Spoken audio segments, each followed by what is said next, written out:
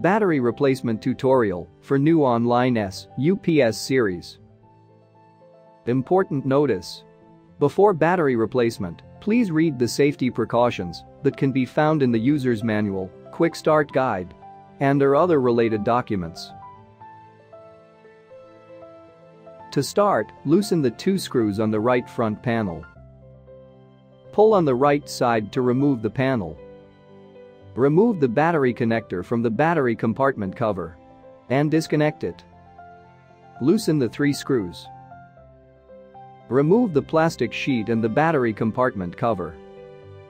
Pull on the plastic cover to remove the battery pack. Cut the plastic tape to open the cover.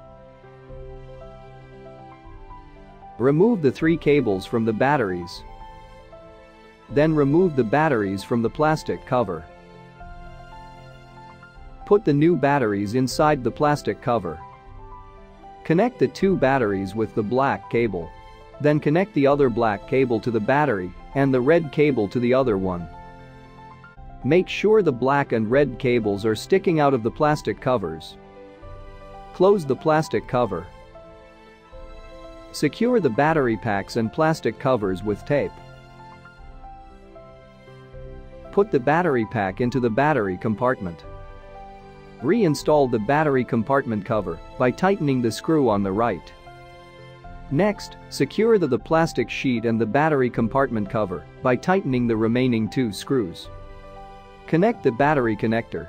Make sure the connection is properly seated.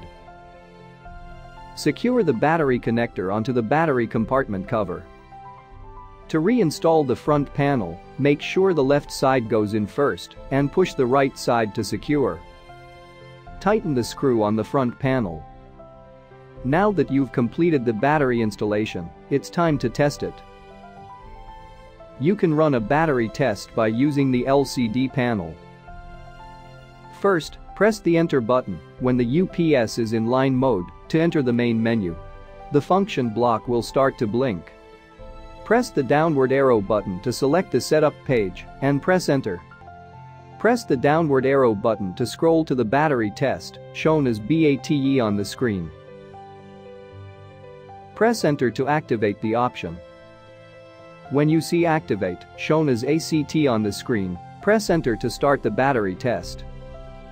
The UPS will enter battery mode and the battery test will run for a few seconds. When the battery test is complete, the UPS will return to line mode.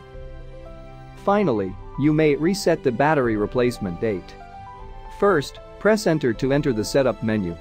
The function block will start to blink. Press the downward arrow button to select the setup page and press enter.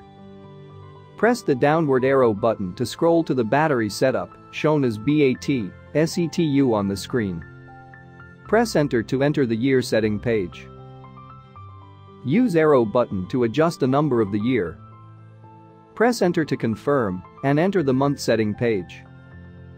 Repeat the procedure to complete the month and day setting. When the date setting is complete, press enter to save the date.